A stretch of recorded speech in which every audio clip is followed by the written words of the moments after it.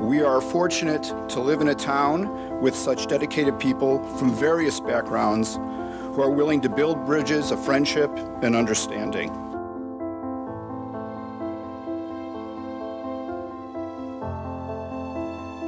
I don't know how many years it is in the making for us to be able to bring Muslims and Jews together into one room, talk about our commonalities, because it's a lot easier to explore anything else if we can figure out what we already get along with and what we already do that's good. Pray that wisdom and tolerance will over influence the meeting here today.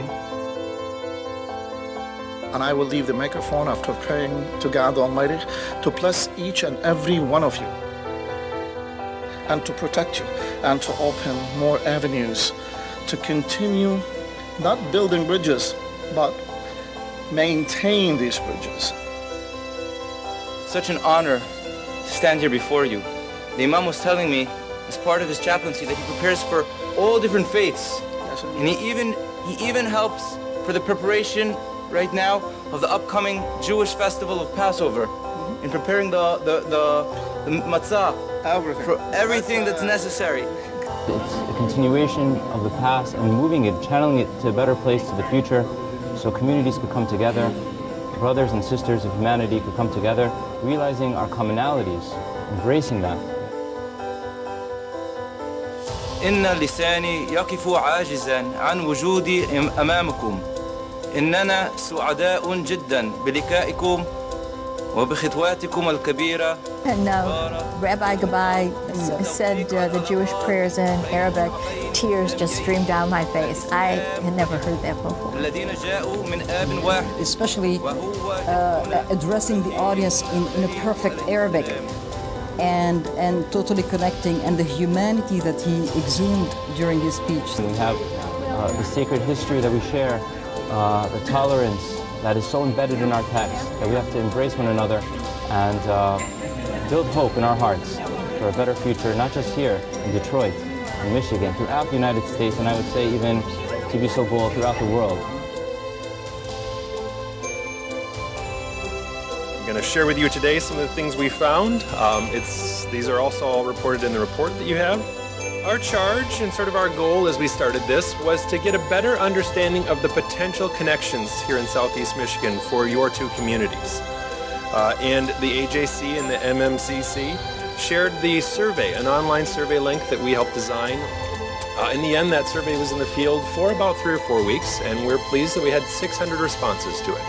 This is a fine survey result. Um, a lot of good information we were able to sort of carve up and look at in a number of different ways.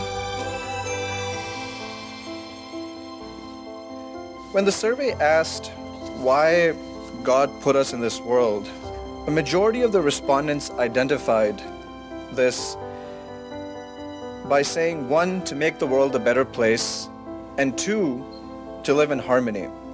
And this commonality of purpose really gives us a great deal of hope. It was to figure out how we can reduce the barriers to engagement and reduce the apprehension that may exist in certain segments of our community and just have more interaction, you know, which is going to lead to a multiplier effect in the region uh, from today's activity. I truly believe that this event would have happened one way or the other. But it is happening now because of the vision of the Rabbits Foundation. It would be untrue to say that this work is easy or it is not sometimes frustrating or difficult.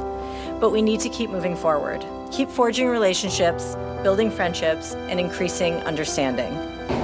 It's really exciting that we see already that people are interested in learning more and more about each other. We put together five different sessions with different community leaders. One is on civic uh, engagement with state representatives Rashida Tlaib and Vicki Barnett, who are a Jew and a Muslim serving in the State House in Lansing, are very close friends. We have one on social services. We have one on um, tectonic leadership with Brenda Rosenberg and Samia Bahsoun. So when I saw, you know, a Jewish lady and a Palestinian lady talking about resolution and using tension to form, um, you know, uh, a relationship, it was just, it was powerful.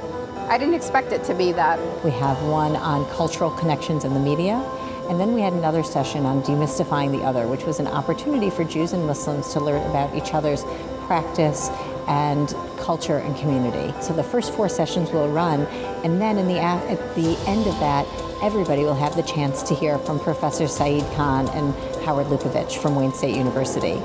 There's a lot of misperceptions uh, that the Muslim community and Jewish community have about each other. And uh, this is going to be a time where these two speakers, engaging with the audience, are just going to break down a lot of barriers. We do share ethics, and we share values, and we share justice and a sense of justice. We share family cohesion as paramount for our identity. We have an emphasis in our respective communities on education and on success. It's the organic, and I put this in quotes, reach across the table over lunch ethos that we have seen and experienced here today which augurs the greatest promise. In America and elsewhere has today has much to learn from the fact that this is a very long-standing relationship. Muslims and Jews have known each other, have learned from each other, have lived together, well, going on almost a millennium and a half. That's a long time. Uh, from a cultural aspect, it was wonderful. They were very good prepared talks and really illustrated a lot of how our community has already been together for so long. We're not here to set the agenda. We're here to actually help deliver and uh, listen and learn and then help move things forward that are important to both communities. When we come back a year from now, we can discuss how proud we are on the things that have changed, on where we've improved and celebrate the things that we've accomplished over the year. There are all kinds of ways that people can work together, and we have to figure out more how to do that and follow up this wonderful day with uh, personal interactions and then more organizational interactions. It was a wonderful event for me to come. I didn't come with this expectation. I thought it would be uh, uh, more of the same as has been in the past. Uh, to me, I was happy because I saw people that would not normally be together, and it gives me hope for the future.